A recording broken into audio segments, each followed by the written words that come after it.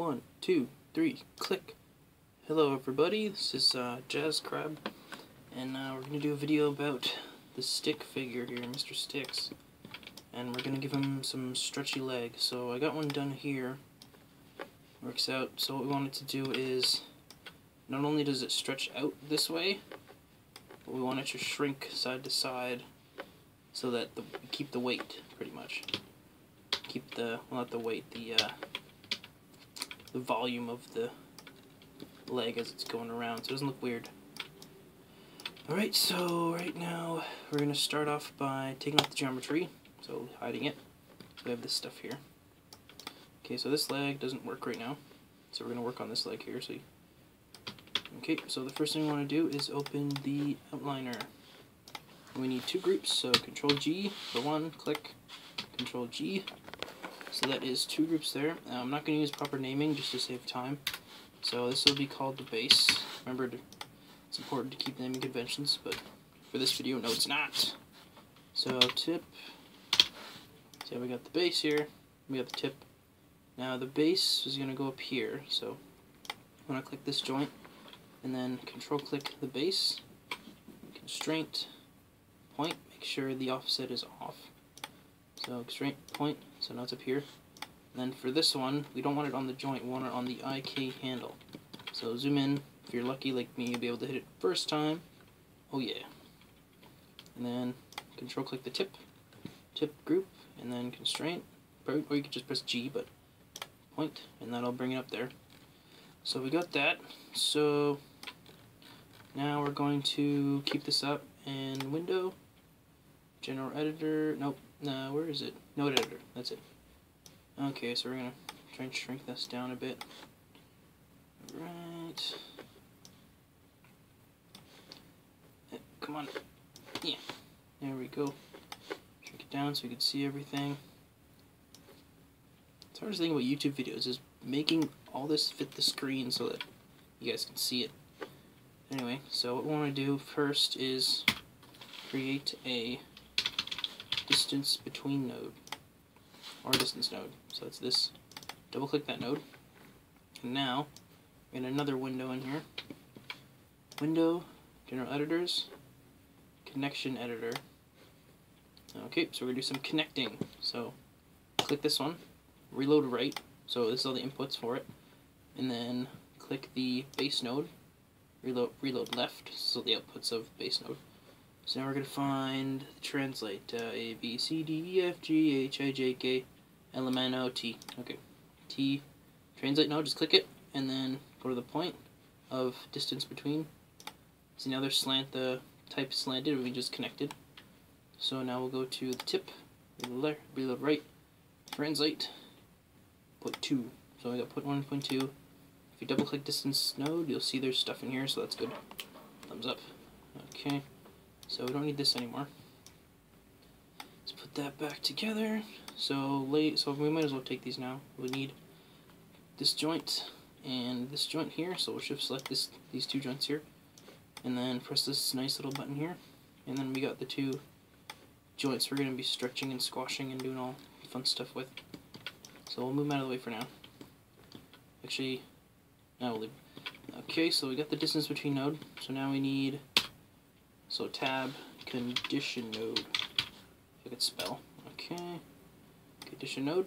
So double click it. So the first thing we want to do is expand them. And now we want to take the distance and put it in second term. And we also want to take distance, put it in the color if false R. So the first, so it's here and here. And now what we want to do is take, so right now this is the number of this distance to this distance. Now we need the, that's like the minimum, I guess. Now we need the maximum, so we need to pull this down and until the knee straightens itself out just, just as it does it. Try not to go a little bit over. Okay, now this number is different, so what I'm going to do is I'm going to take this number, Control C, we're going to paste it here in first term, and here in color if true.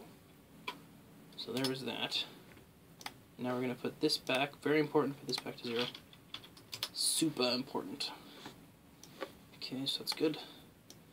Now, we have that. So now we take this, make sure this is all right. Oops. Okay. Yeah, and then operation greater or equal to.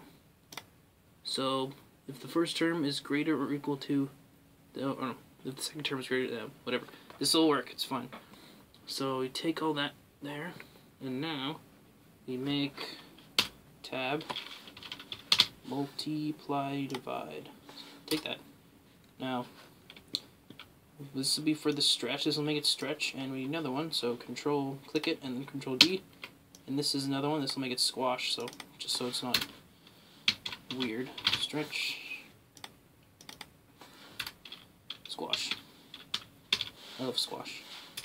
Yummy. Okay, so get that in there, and then um, first of all, the out color R goes to input X, 1X. Okay, now we go over here, and what we want is we want this number here, same number. Okay, we'll double check. 7589. Okay.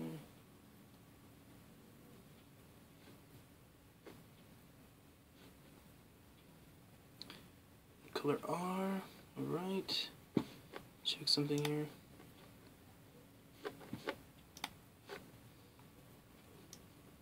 Yep, so out color R, okay. So now we want to take this number, which is the outstretched number. Yep, we want to take this number. Oh. This number, Control C. Control V it there. Okay. And this should cause it, the other ones to stretch here, so now what I want to do is take this. So again, multiply, oh no, sorry, divide. I want to divide it by this maximum number here. So this is the same number here. And then copy paste it there. And then take, well, first of all, I guess we got to find out which part is pointing down. So make sure this, make sure you know which axis is pointing down. So in this one, it's the X or not pointing down, pointing towards the next joint. So on this one, it's the X, uh, the red rod, so it's the X rod.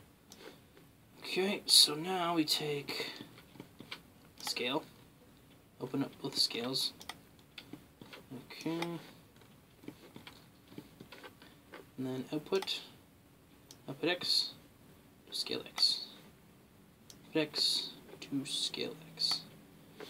Okay, let's see how that works for now. Okay. There you go. It's all stretchy right now. So that's what we wanted, exactly what we wanted. Just, it's stretching, we're, we're smart and stuff. Right now, we're not done yet. So the second part of this, second part of this is taking this squash node, the other multiply divide, sorry one second. Yeah, yeah. Yeah. Okay, move that over there. So next we want to take this squash node and double click it so you get the properties of it, so double check. And then take multiply, turn to power, and then take this negative 0.5. Very important. So this is going to make the squash, or the squash and stretch look more realistic. So we take input X, put into, sorry, put into input 1X, so output X to input 1X. And then what we want to do with that is take output X and put it into the other scales for each joint. So this is the hip joint, so I'll put Y and Z, and then again, Y and Z, and we'll see how that looks. So just in case something happens, you can always highlight everything. Bookmark thing here. We'll just call it right leg stretch, y'all. Bam. And we'll keep that for later so we can, like, you know, if we need to find it, we can just go to the other bookmark button, stretch y'all, bam, and it's there. So that's always a good thing. So now let's check it out. Let's see what happened here. Alright, so drum roll. Brrr, oh my god, drum roll. And stretch. squashes, it stretches. You can see it loses mass as it, or it keeps its mass as it goes down. So yeah, that's uh, that's just squash and stretch. Woohoo! You do not know, you do not want to know how many takes of this video that I did, but we're done. Let's do a little dance here. No, wait. Oh, I don't have the god over. So there, there it is. There's how you do a squash and stretch thing. Thanks for watching. Please subscribe. And yeah, thanks a lot. Oh, and do not do not scale your stuff because it's bad for your yeah. Goodbye.